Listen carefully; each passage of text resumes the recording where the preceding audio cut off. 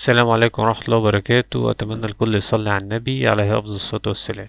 هنشرح إزاي نسرق المحلات.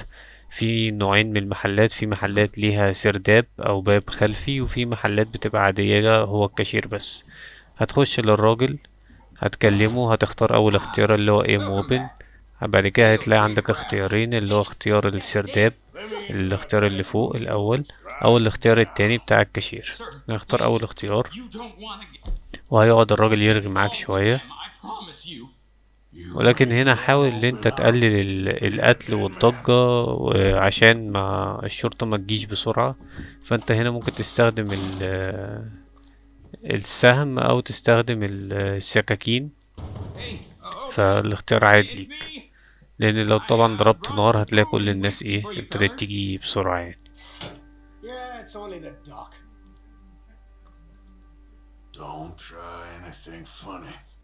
واللي أنا هنا لاحظته يا جماعة إن أنت مهما تقتل شرطة وتقتل ناس آه، عادي هتلاقي إن أقصى غرامة هتجيلك هي 500 دولار في المدينة دي. فكل مدينة ليها 500 دولار.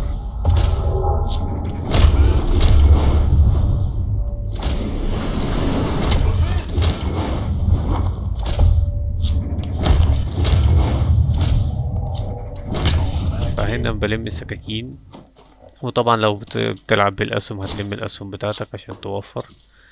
آه، هنا هتلاقي في في الصندوق اللي ورا ده مسدس. آه، مسدس كويس يعني. والخزنة موجودة. أي خزنة هتلاقيها لازم تحط عليها الديناميت وتضربها بالمسدس أو ترمي الديناميت عليها على طول. ولكن أنا بفضل إن أنا أحط الديناميت الأول وبعد كده أبعد وأضرب بالمسدس.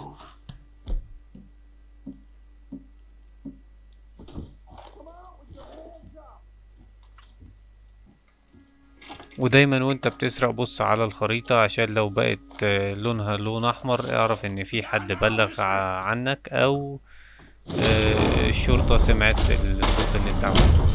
فعندك حل من الاتنين. يا تستخبى خالص والشرطة هيجي يعاين ويمشي ما يشوفكش أو هتضطر إن أنت تقتل الشرطة. وفي كلتا الحالتين حاول إن أنت بعد ما تسرق إن أنت تهرب بسرعة من عشان ما تعملش مشاكل كتير أو تقتل الشرطة كتير ويبقى عليك فلوس زيادة.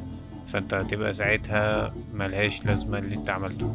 لأن كل محل آه، بيبقى فيه فلوس ما بين من أول عشرين دولار لمية دولار. فانت لو عديت المبلغ ده خلاص يبقى كأنك ما عملتش أي حاجة وخسرت آه، نقط شرف أو الطاقية اللي أنا قلت عليها في الفيديو الأولاني خالص.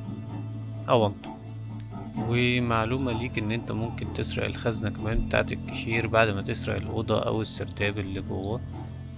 بس أنا هنا مرضتش أسرق الخزنة عشان كان مضروب عليا قلت ملهاش لازمة. وأتمنى ليكم كل النجاح والتوفيق والسلام عليكم ورحمة الله وبركاته.